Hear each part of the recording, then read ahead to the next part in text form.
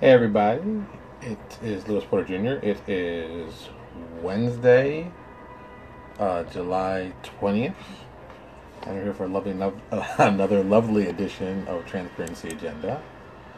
Uh, it's my favorite day. It's Wednesday. Um, actually, technically, this is really my favorite day of the year because it's not just Wednesday. It's the Wednesday before uh, San Diego Comic Con, which uh, drives me crazy. So I mean, it's just oh, it's just an awesome, awesome Wednesday. I mean, you know, Comic Con is the dream for me at least. I know I've always wanted to go. You know, it's. I'll tell you a story when we get into this. I'll tell you a story about how I missed going. My, I had an opportunity to go and I missed it. It's kind of crazy. Well, not really crazy, but it's part of my life as I describe it. So that's going on. Um, of course, today was comic book day, so I got some comic books to show. Um, last night, uh, I showed you guys. Actually, pull it back here. I showed a lot of you guys. Look, uh, I forgot to put the note of it actually in the show notes, which really upset me from last night. So I wanted to show it again. If you didn't see it last night, if you're seeing it for the first time, um, this book, it's a great book. You need to pick it up. I'm going to put it in the show notes tonight so that I won't forget because last night was uh, I forgot. I just forgot. Oh look, Yashika Florence is watching. Hi Yashika. See, yeah, she Shika's a good friend of mine. She's she's like, you know, she's all awesome eyes by what I'm doing here. It's pretty amazing to her. That's why I get to make fun of her on my own show. That's great. Mm. Ah, yes. so there you go. Um, what other fun things are happening? Um, it's been kind of a quiet day on the RPG scene. I really haven't seen anything that was so incredibly, you know, up or amazing. Um, RPG um, well, Paizo has been. Oh, they're talking about third party stuff. Let's talk about um, Gen Con. Everybody's talking about Gen Con, Gen Con, Gen Con, Gen Con. I'm not talking about Gen Con because I'm not going to Gen Con, so I'm not talking about Gen Con. Um, Playground Adventures, I guess, released a new product here.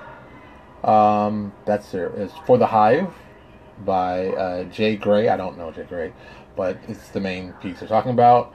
Um, Dire Rugrat Publishing continues with their Tavern Tales series.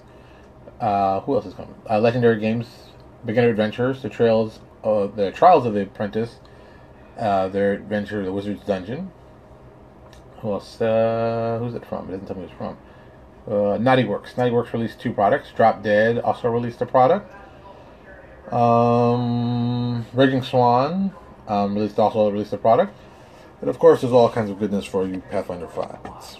Oh, see, Ishika said hello. Isn't that nice, Ishika? Isn't that nice? Oh, that's so nice. Uh, so yeah, it's gonna be you know it's kind of a light week. I I'm guessing a lot of people are still ramping up for um, for Gen Con. As usual, I'm not going to Gen Con, so we're not going to discuss any more about that. That just upsets me. So blah blah. Gen Con gonna be awesome. Yes, you'll be having tons of fun. I will be here, just sweating it out in the big heat, as it were. So uh, let me get started with the fun stuff. Okay, today's you know being Wednesday, comic one, comic Wednesday. I only got three books today. Uh, I got Green Lantern, uh, Justice League, you know, and of course the book that I've really been enjoying, uh, Squadron Supreme. Uh, I've been enjoying Squadron Supreme a lot. Uh, James Robinson has been writing this. James Robinson is one of my favorite um, Golden Age, re- re- I it revisionist guys. Um, he wrote the book uh, The Golden Age. If you've ever seen it from DC, it's one of my favorites. And this uh, Squadron Supreme has been really kind of interesting. I've been liking a lot. Like I, I really, really just like it. I think it's just they've done a lot of smart things on this. So it's one of those things I, I suggest you either read it and read it in trade, so it's better. Um, this is the image for next issue. I'm if I can get this right.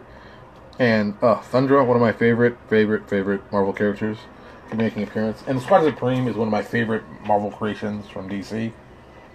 You know, I've always thought it was amazing, so that's why. Um, Justice League, another, you know, first issue, but another solid, well done, well put together book. Uh, what's the picture of Wonder Woman? I like saying. I mean, this is a cool picture. I thought this was a cool picture. You know, boom. Wonder Woman Lightning Bolt. It's kind of cool. Something you can think about for your artwork. I'm just saying. And then, of course, the big spread, which would probably not look as well. So, boom. See that? That's a picture. That's that's a half page picture. That should belong somewhere in a book somewhere. But it's awesome. Replace the tanks with horses and things like that, and like like that. You got a cool piece with magic. See? That's what I tell you. Comic books, people. Comic books. They got all the good. They got all the good stuff in there. Comic books. Um, while on the other hand, uh, this Green Lantern was not really impressive, and this artwork is not. Let me phrase that. There's several people working on this book. This book has gotten so many people working on it to the point where I'm like, are you kidding me? It's it's it's, it's a lot of people working on this book. Like a lot of people. Like on the front cover. I mean, look at all these names. Look at all these names. I can tell you right there. Hi-Fi are the colorist. All right. And I'm guessing all the rest of these are like like Sam Humphries. I believe it's if it's Sam Humphries. You know, he's he's an artist, and these are artists and and this is one book. You know, this is one book. You know, it probably it feels like it's like 40 pages. You know, book. But this is one book, and I'm like, the, art in the middle doesn't get it gets. It's just not a. I did not get excited. So I was not very excited by that. Um, yeah, it's kind of upsetting. So it just upset me. It was just upset me. I'm just gonna call it like that. I'm not gonna look more into it. I think you get all upset and be like, oh, it wasn't this. It just wasn't what I thought it was gonna be. That's the best way to look at it. Um, so, uh, what was this? This week it was this week. I was I got this really there it is. Boom. Jim Zubovich, uh, Jim Zub, you might have heard, the person who wrote uh, the Pathfinder uh, comic books, has a website that I'm a big fan of, and has also a ton of tons of information for creators you might want to check out. It is literally www.jimjimzub.com. And in it, he has, you know, it's basically, it's, it's his information about just talking about the industry and comics. But a lot of this relates directly to digital sales because uh, Jim has been, I guess, doing digital and doing creator owned stuff for a very long time. If you look on the right side of his web page, if you're going to it, you can go to it now. You'll see a list of tutorials.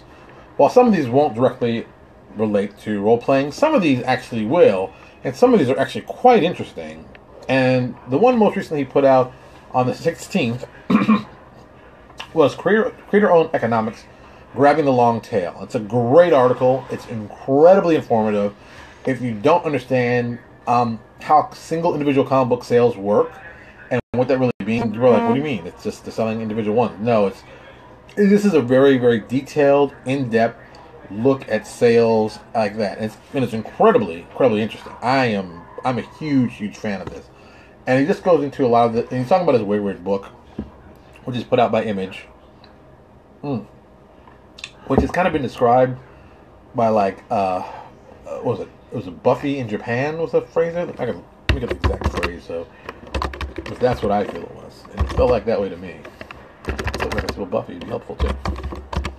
Yeah, Buffy in Japan, and you know, it's it's taken off very well in the print.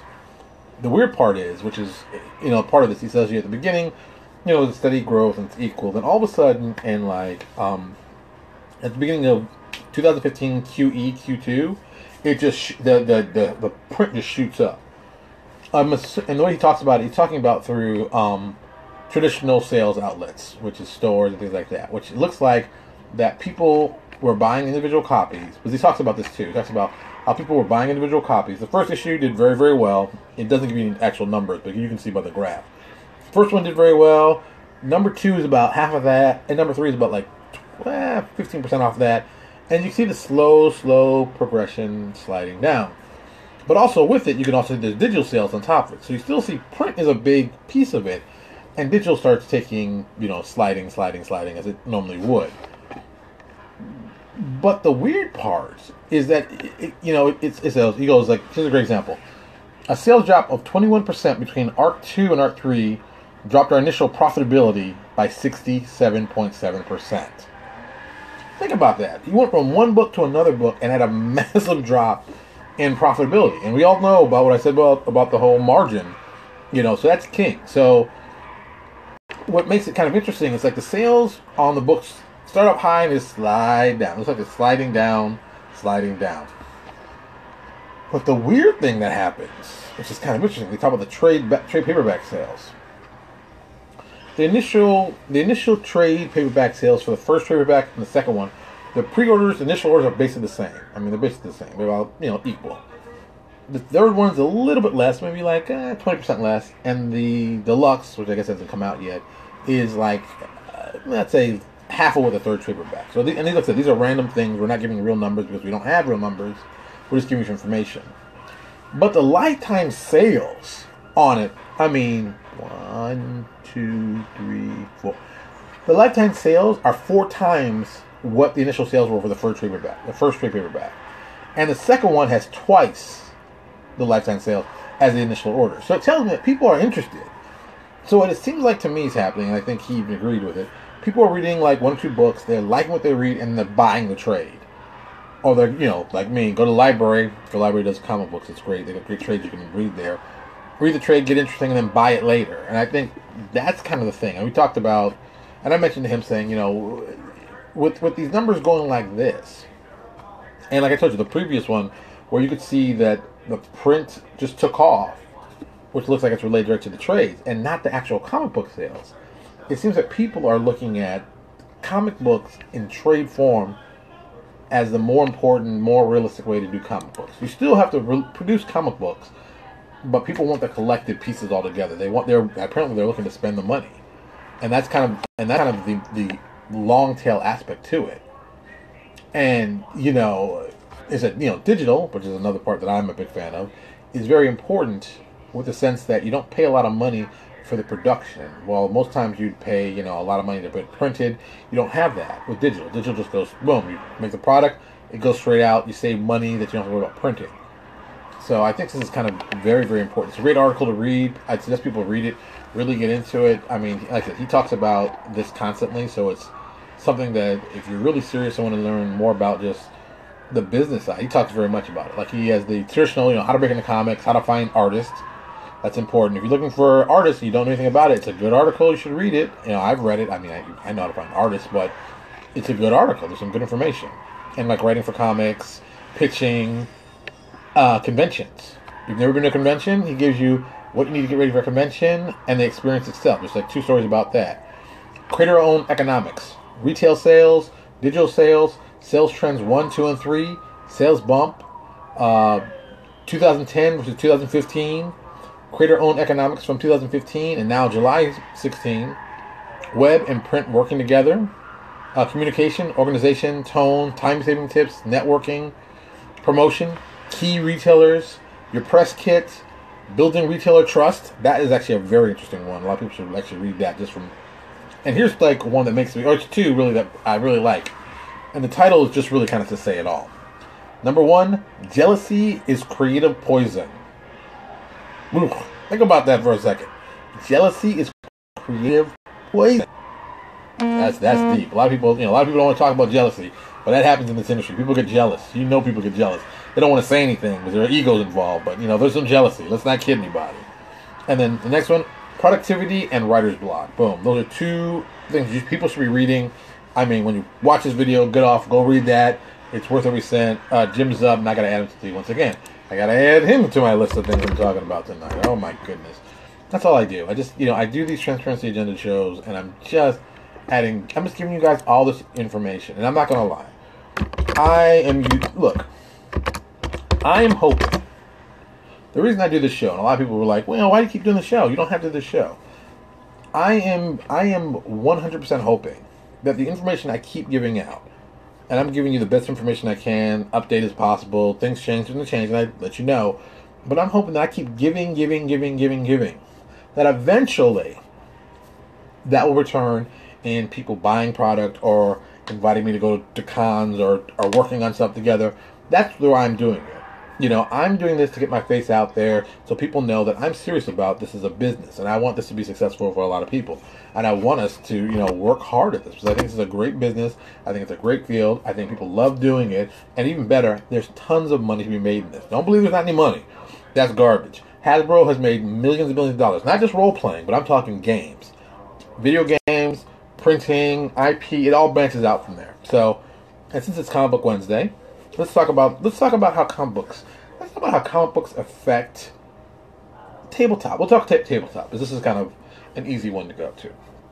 So, uh, a while back, I can't remember how long it's been. I started talking about intellectual property on just what you should be doing, things you should be doing about IP. And one of the big things that I thought was a smart, smart thing to do was to develop iconics, and I saw that Paizo had done that, and I didn't really understand initially what was the big deal, and then I really looked at it from a from a business perspective. When they're building their iconics, you're really not just building iconics. What you're building is intellectual property that you can fold into other places. Prime example. You've got um, many of the many characters iconics have wound up in comic books for for Pathfinder. Now, they all have their own stories in the books, and people have some ideas about them, and th- but the comic books give you that kind of action moment to get them, take them home, read them, and books do the same thing. But we're just talking about comics right now because we're talking about pretty pictures. That'll come in also in a second. You'll see. So, developing, you know, a fan base like that is kind of a great way to do it. You can to, you can basically do it as two things at once. Fans of the RPG, if they like the book, they'll pick it up and it'll be a cool thing. Fans of comics, if they like it, will pick it up and maybe find about the game. So it's just this big circle that goes around. You're, trying to basically feed each other.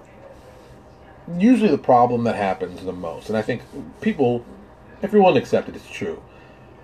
People will develop comic books based on specific IP, and there's no way for people just to jump in and start reading it because it's like I don't want to restrictive, but it is kind of restrictive. If you're a fan of Ravenloft, you're going to pick up a Ravenloft comic book. That's pretty simple. But how do you get someone who's never heard of Ravenloft to pick it up? What about Ravenloft would make them interested enough to pick it up and check it out? You know, what what is it? What will that be? And I think that becomes an issue that needs to be looked at and really examined. So, you know, I think Paizo's affected that in a couple ways. They've kind of rigged the system, but in the best way possible. So, you buy their Pathfinder comic book. Usually the back piece has something RPG related, and I think that's kind of like the first smart step.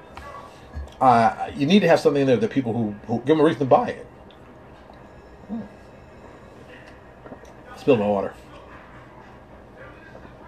You got to give them some reason because if we're going to buy the comic book, and let's be honest, the comic book, four bucks, it's got to be. I paid two fifty for this comic book. 250 and this comic book i think this is 40 pages now. I think these are these are now 40 pages one two three four five oh six seven eight nine. Ooh that's nice. 36 there there yeah 36 the no comic book if you did not know the standard comic book is 32 pages. So they've expanded pages They've also added a big ad in the middle too. Don't kid you. There's a Snickers ad that covers three pages, four pages of Snickers ad. So you know, it ain't really. You're getting four more stories, but hey. A big name writer or artist. This is from Ben McFarland. A big name artist will pull the outside audience. In. Yes, that is true. A big name. If you put Warren Ellis to write for Ravenloft or Jim Lee to do the artwork, you're going to get some fans. You are going to automatically get people want to just check up their names attached to it. But to get them to stay, that's a different story. Because I mean, everybody can, we can all do the bait and switch. I mean, that happens all the time in comics. So and so's writing a book, yay! They stay on four or five issues and they have to leave. Oh, and it's just, and that's kind of the, I don't want to call it bait and switch, but it's bait and switch. Because I mean, Warren Ellis just did uh, just did a series. Uh, good lord, what's in my pocket all the time? Uh, did a series for Marvel called Moon Knight and it lasted so short. He was supposed to be on it was going to be a continuing series. It seemed really cool, and it was kind of cool pitch, and the idea was crazy. And I was like, "What is this? This could be really interesting." And then by issue six, he was gone. And I was like, "Oh God." So it's kind of upsets me that they spend all this money piping this thing up, and then he bails. And then he did another series, um, Karnak. That's supposed to another great idea, really innovative. And that book was just late. I mean, the first issue came out and then like six weeks later, the second issue came out, and then like four months later, the third issue came out. It's like, uh, you know, I just said, forget it. I'm not going to read it. I did, you know, I lost interest in it, and that is a problem that happens constantly in the, uh, I'd just say the, the universe of of comic related stuff. It just issues pop up, and they have they have similar but weirder issues than in RPGs. I think RPGs can have smaller, more focused things. And kind of our fan base is kind of built on waiting for good stuff to come out because you know it's a game. You're going to be playing this game forever, and you know there's that aspect. But back to the whole comic book thing. All right, the other part I believe that comic books work really well is that it develops artwork for you. Anything you put in a comic book, you can put that in your game. Why would you not? You know, why would you not do it? It's beautiful artwork. If the artwork's awesome and it's talking about your setting or whatever, and people seem to like it, boom, put it in your books. You know, you can put it with word bubbles, without, whatever, but put it in your book. It's you saves you money. Remember, we're trying to save money, and you want to express your art everywhere. You get to see it. So that's that's a that's a thing. I also believe that uh, I think people need to take a lot, like I said, take a different step with comics and how they're created, and you know, I think that more 3D elements should be added to it. I think the background should be done in 3D. You know, there's there's no need to do draw out backgrounds. You should basically have some stock 3D camera angle set, and you just boom shoot from this location, boom shoot from this. But let's be honest, certain things are going to be done over and over. A tavern scene is going to be done over and over.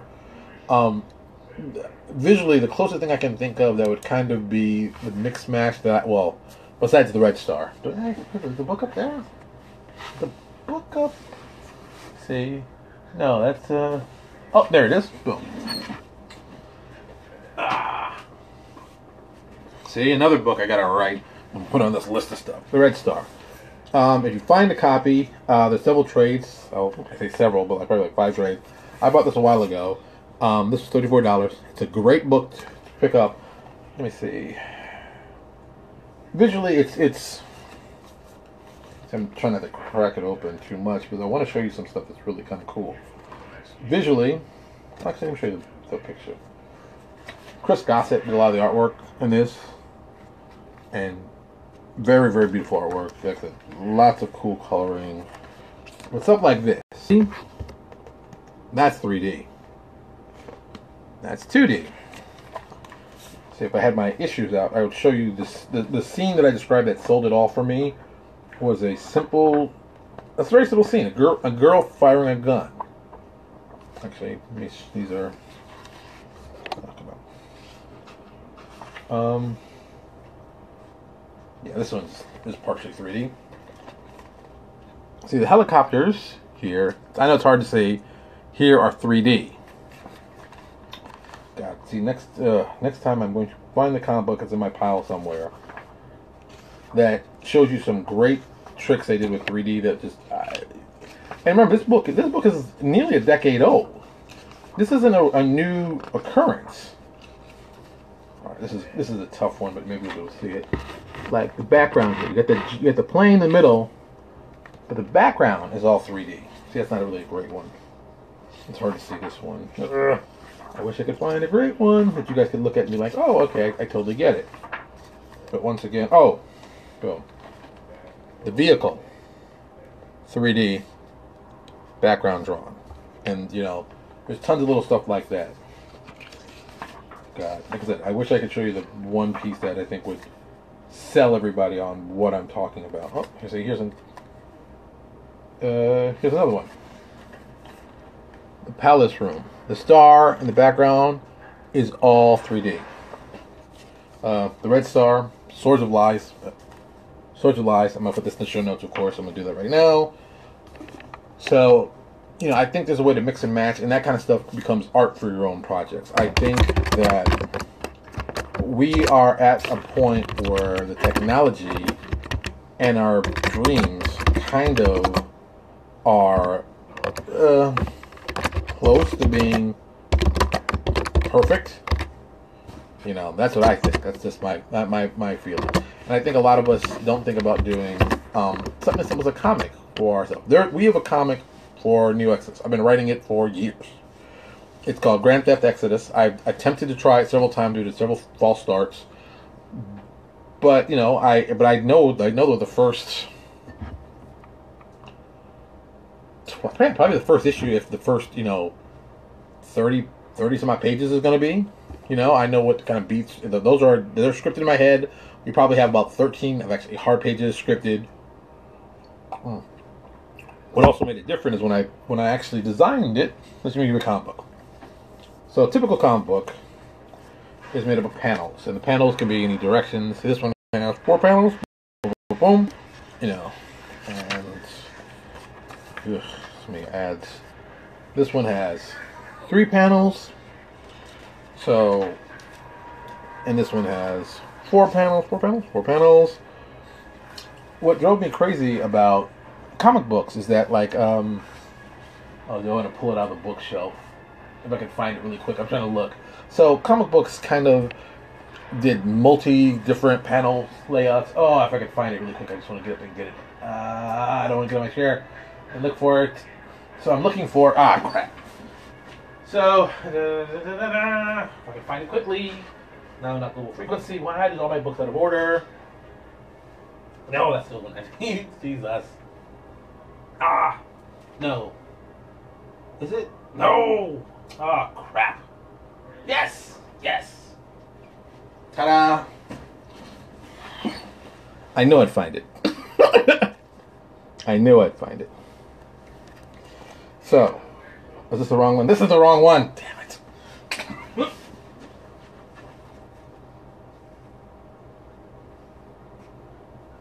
Oh. All right.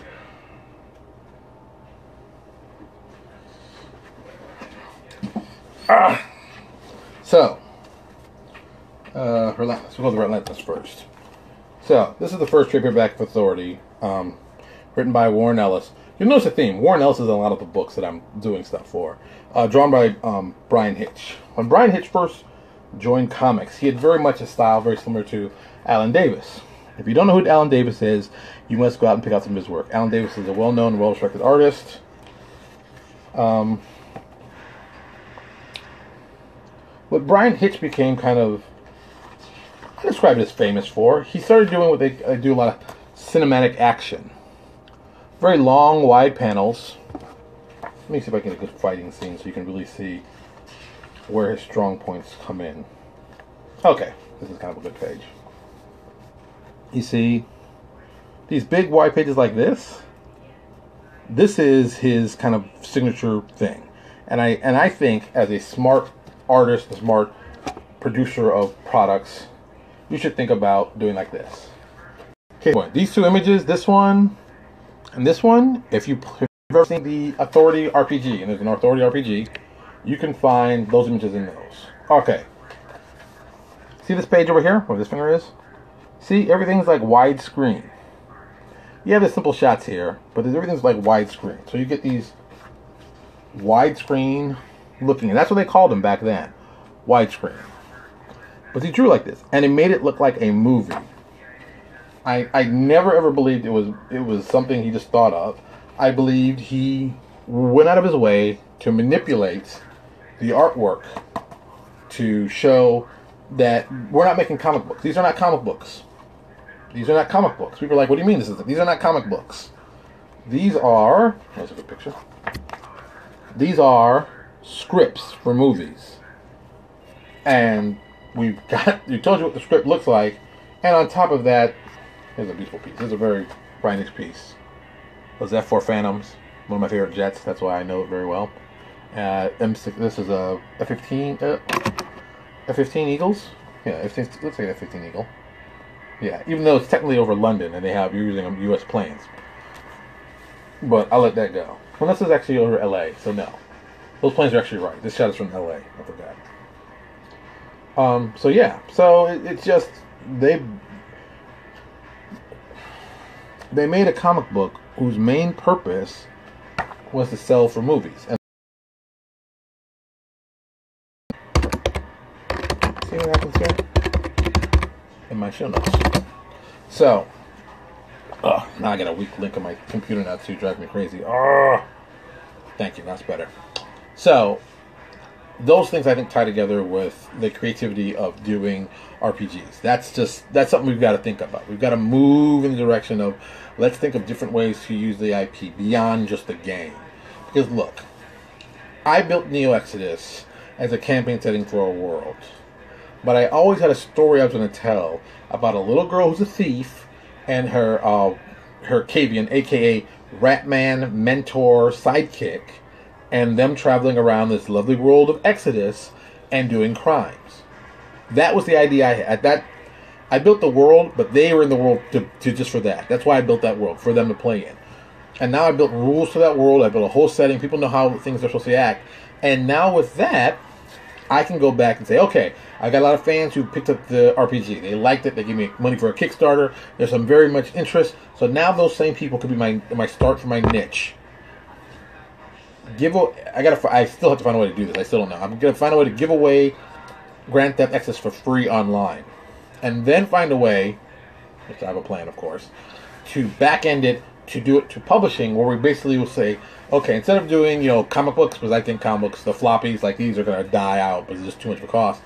You do trade paperbacks where you do the entire series or whatever, whatever section you do, plus you put in there the scripts that you wrote from, so people can actually see the scripts. Like, hey, I'm getting the book and I'm getting actual scripts, and then we'll actually even put artwork from the artist doing stuff. That is my ultimate plan that I see for Grand Theft Exodus. And yes, it is a long term project. And yes, it is going to be very expensive because we're giving away a little of the information for free. So, uh, trade paper. This is from Jacob. I've been missing. Trade paperbacks collections of webcomics always sell well. I think they sell well because you've already got fans who've seen the stuff that are interested, and now it's like, hey, did you like the stuff we did there? Here's some more stuff we have. There's some behind the scenes stuff that you didn't know about. Um, I've always, oh, say, Mr. Jacob would like to, Jacob would like to draw Grand Theft Exodus, you know, and but you know, he's just too busy. Everybody, everybody's busy. It's busy time, man. It's busy time. And doing a, you know, doing a comic book is expensive, so you got to pay for all that stuff, and you got to think ahead. And it's oh, it's, and like I said, I, I've got a look that I've already defined on what I want to be, and it's a million little things, but this kind of intellectual property can can basically span out and and push it in different directions for you as a publisher or you creating content. It's just something that I think people will be interested in, but you kind of have to get them excited. All right, Ben said, but comics are using the same formula used for RPGs, selling components at lower cost and collecting the trade. True, but the difference between did, everyone hear that? Let me just say it again. I think I mumbled that through. But comics are using the same formula you use for RPGs selling the components at lower cost and then collecting them for trades. True, but here's the biggest here's the biggest difference between comics and RPGs. Comic book fans are used to coming every month to re up to look for the thing. They've built in their, in their in their psyche of every month that I go to the store, this new issue of well whatever. This, yeah, I can remember this. These two books, there'll be another issue after this one, and another issue after this one RPGs don't do that. RPGs make books and we chop them in pieces and we fake that effect. But really, we don't. We don't even have like. It's not like. It's not like next month we're going to have a book that continues from the last book we did. And next month we don't do that. We tell kind of individual stories sectioned off of the bigger world. And like here's the big world. Here's the big campaign book. And we can get that in pieces, but still, it's all going to be one thing eventually. This is all connected. And then we start talking about little pieces in those books and, and giving little pieces. Like, here's one for you. You may like this, you may not. You've got to find some way to get people to pick us up so regularly that it's just income coming in that we can't beat. All right. Now, see, I'm upset. I did that because now I've got to talk about Indigo Donkey. Add that down to the list. Ugh. So, Indigo Donkey, we're kind of developing that kind of system kind of a repeat system that people come at a certain time, get the project, and then give us more stuff. Um, okay, Ben has actually made a very good point. On here he goes, that depends what I was talking about. Look at witches, packs, global frequency. Yes, they were built to be short series. And that's kind of, you know, that's those are kind of unique things. I'm thinking long form. I should have been more specific. But long form comic books, you know, it's month after month after month after month, and that's how they hook you. Short form, while as interesting as they are, you kind of know up, up, up front what your commitment is going to be.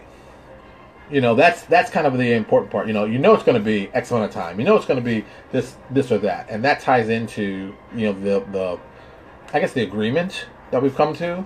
You know, you know I I go to I get my Marvel previews. All right, I go to the previews. Oh look, Power Iron Fist number 10. I know number 9 came out the month before. Number 10 is now coming out. You know, Iron Fist number Iron Fist plural number 1 is coming out.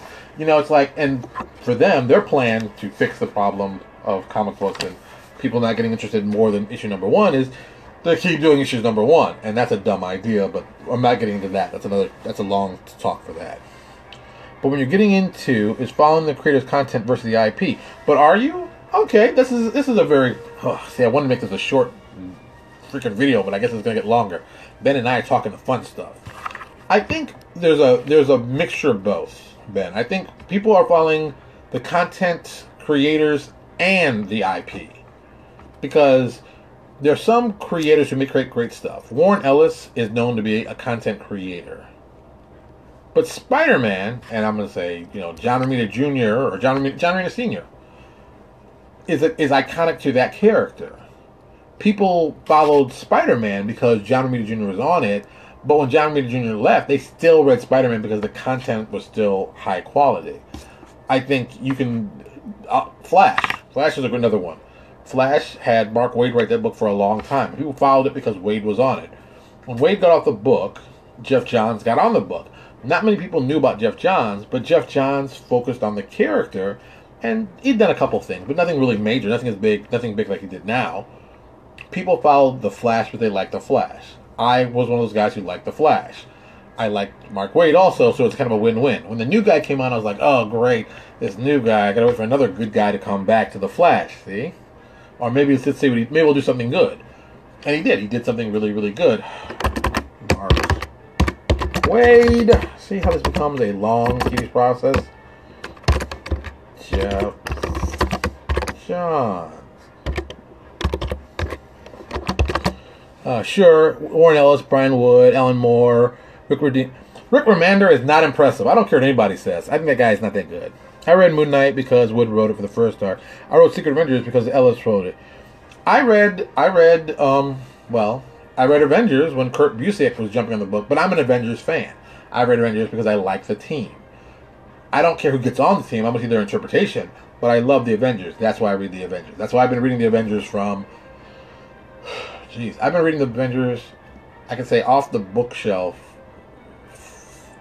from like issue like 220 something but you know i've been reading you know collecting i've, I've at one point i almost had a god i almost had to run from issue like 90s ish it was, it was the Kree Skrull War, I was right, the first one, up. I I was an Avengers fan. I'm an Avengers fan first and foremost. The writers are pretty good. And yes, that is true. That is, and the other part to this one, having Wood on Conan, that was a double win, yes, it was. But that's why you're favoring the long form. It's true. I believe the long form has the, the long form is about the characters. The short form is about the writers and artists. So you know, but don't. But and I understand some people don't want to write a book for fifty years. That's why you don't see teams last on books for you know more than six, seven months, which is still good. I mean, don't get me wrong. There's tons of stuff I've read that's awesome, but I want the agreement before that I'm going to get a short book. I'm going to get a short run. Um, something I thought about. If a lot of people don't know, well, I guess people do know. I've always been planning to do a comic book company in my head, and it's so far the name I've been running is Amazing Comics. You can run with that for a long day that's just my personal choice. So, with Amazing, the whole plan would be is that we would do long form comic books, but in short form setup. And this is something that Marvel should just do. I think this is just what they're doing is silly. Every every six month period, and this year's gonna be six or four months. It all depends, but most weeks gonna be an even amount. Those can be set up for a collection. So it's gonna be like you know, for example, the Avengers, the Korvac saga. Well, the Korvac saga is going to run six issues. Boom. At the end, we're going to collect it. It's going to be the Avengers and the Trial of Ultron. That'll be the next six issues. Boom. So you basically break it up into trades. You've already broken up the trades and you deliver them in six issues. So you always have a number one. You always have like a last issue of this set. You know, marketing tricks.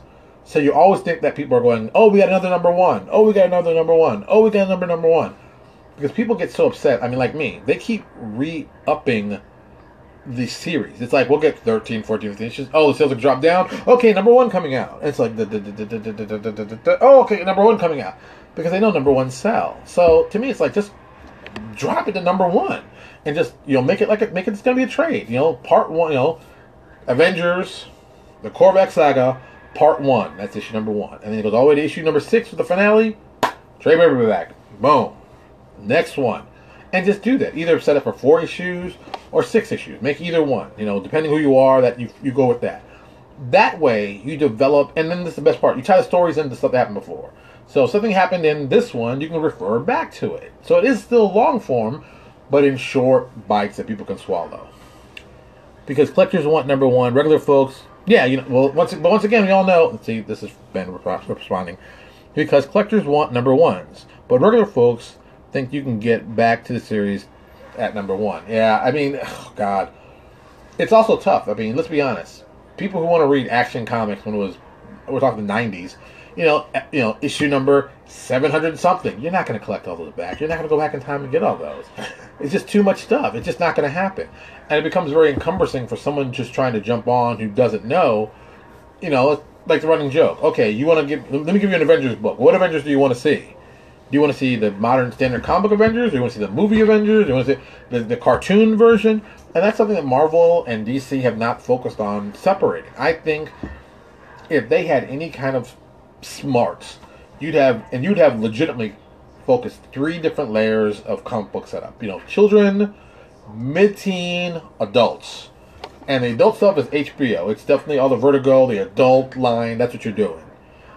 And the fun stuff is the fun stuff, the four color stuff. But the young kid stuff is the movies, the cartoon focus. Get them to get interested in the characters so you can get them on the next tier.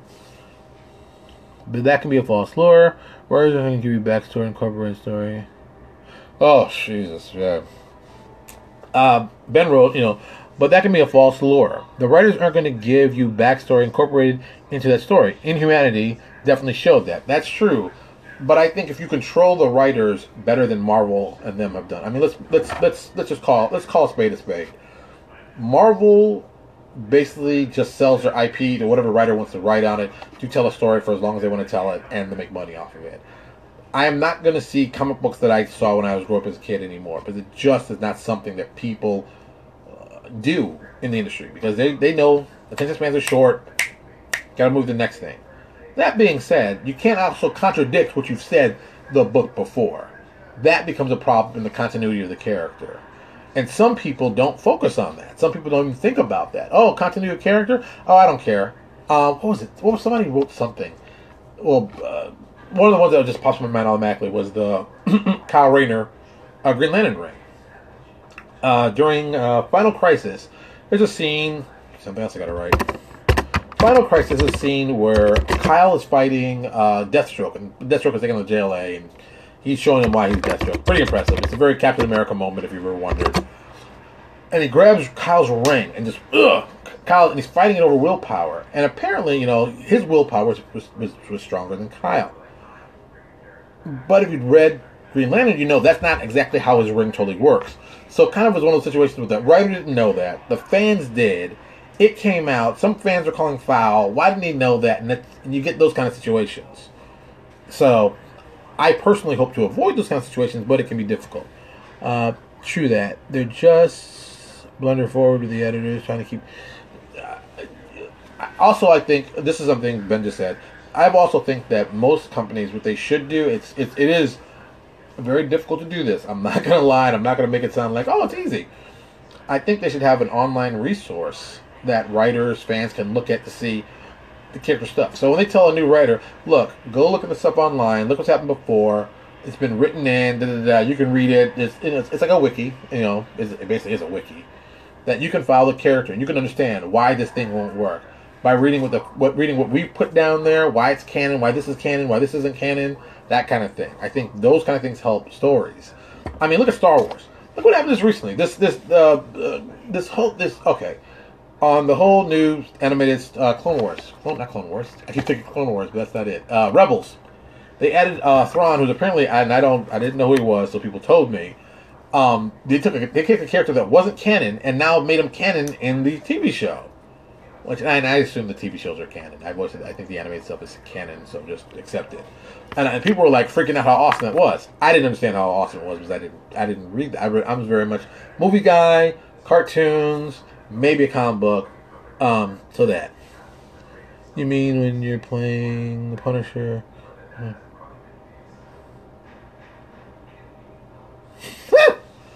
you know, Ben McFarlane is trying to have fun with me now while I'm trying to talk serious. I haven't forgotten that.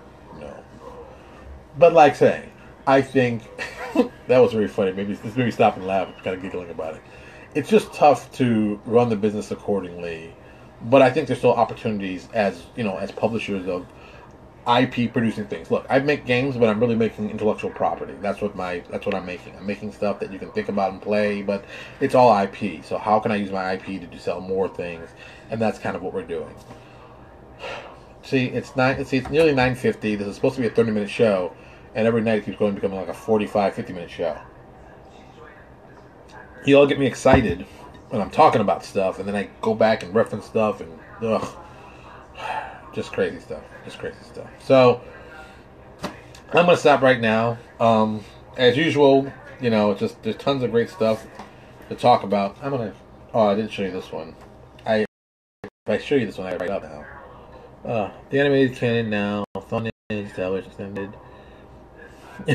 yes, Ben. We definitely found the rabbit hole in this constantly, like you would not believe. All right, I'm gonna show you this book. It's a cool book. You should all pick it. Um, Stormwatch, uh, A Finer World, which is one of my favorite titles of any kind of book. Great name. Uh, this is one of the first. This is the uh, yeah. This is the first piece that uh, Warren Ellis did when he got on working for Wildstorm. It is a great book to read. A lot of cool stuff. A lot of cool ideas. Um, and this gets continued in authority.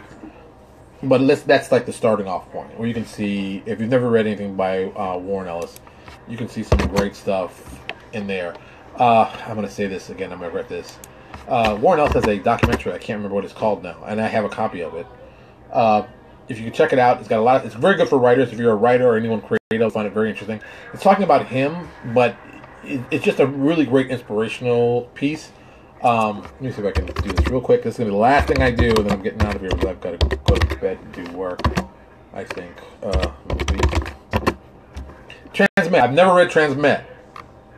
I've never read Transmet, so I can't give anyone an opinion on Transmet. Everyone tells me how great Trans- Transmetropolitan. A lot of people love it. I've never read it, so I don't know. People rave about it. I have not read it. I can't give you an opinion. I'd like to, but I'm I haven't got it. Uh, Captured Ghost. Uh, if you if you can find it, it's it's a great. It's Warren Ellis Captured Ghost. I'm gonna copy this right now because I'm lazy. Boom. Uh, but don't get me wrong. As much as I do like Warren Ellis, I think he does do a lot of things wrong. Like he can't finish a story. I'm not gonna say this, the one that is still upsetting me, even though the series has ended. I'm still mad how horrible it was that he. Oh my god, that ending when we punch him in the face. Great starter, great middle. The ending needed some work, but but you'll. I said anything you read, you'll be impressed. There you go. All right, I'm getting out of here because you know if I keep talking, we'll be here for an hour and a half. And tomorrow, of course, is Thursday. It'll be the end of the week. I don't know what we're going to talk about. I can talk about what my room looks like a mess, but I don't want to talk about that. That's a horrible mess I don't want to deal with. But of course, we'll talk about some kind of business stuff. If you guys have any questions, uh, make sure either you put it in this thread right here, or if you're really nice, oh, my battery's getting low. Better, better hurry up. You can check in the thread right here, or you can go to our YouTube page. Our YouTube page. Please go to our YouTube page. Please subscribe. It's very important. I don't ask you for money, but I ask you to subscribe because it's very important. This helps me in the long run please go to YouTube, sign up a subscription. If you have a friend, sign them up. They're gonna love it. It'll be good for them. The link is also will be in here. Will be in here. No, the link will be in here. Just go to YouTube, type in uh, Louis Porter Jr. or Transparency Agenda Daily. It should pop up. Boom. Subscribe. That's what all I want you to do. That's the biggest commitment I want you to make to me is subscribe to us on YouTube. There you go.